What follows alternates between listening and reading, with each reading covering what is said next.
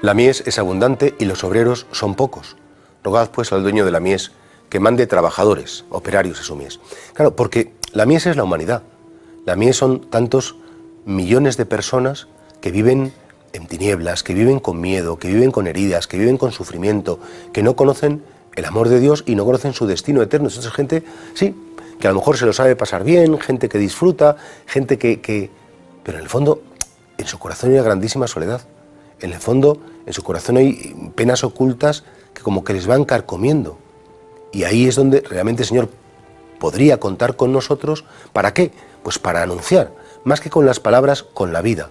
Que la vida humana tiene sentido, que son amados de Dios, que si se acercaran a Jesucristo, pues, pues no tienen por qué tenerle miedo, porque Jesucristo ha venido a salvar, ha venido a rescatar, ha venido a devolver la libertad y a devolver la vida.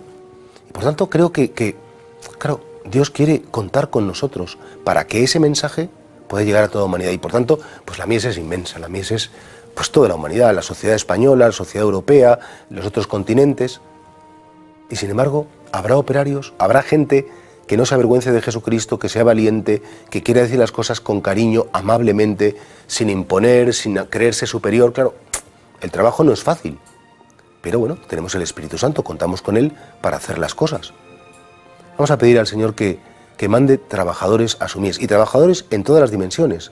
En las familias, por ejemplo, es muy bueno o es muy necesario que los padres, que los abuelos, que den testimonio de la fe ante sus hijos o sus nietos.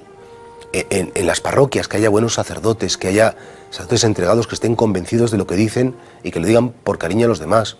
En, la vida consagrada, cuántos misioneros, cuántas religiosas, cuánta gente que, que se va a otros continentes o que se dedica a la enseñanza, se dedica a los enfermos, bueno, y que efectivamente pues están hablando del amor de Dios con su vida.